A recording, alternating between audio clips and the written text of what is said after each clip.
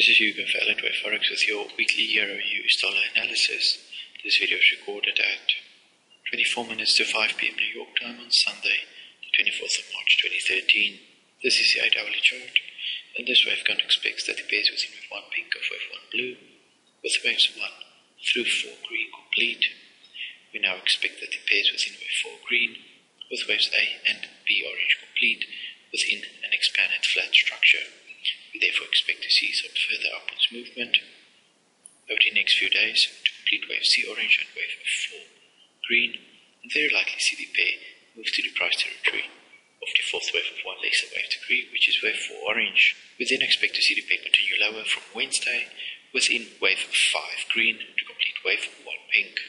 At this stage we cannot provide a downwards target as we need wave 4 green to be complete, but if we do see movement below wave B orange, then it is highly likely wave 4 green is complete and that the pair should be within a new impulse.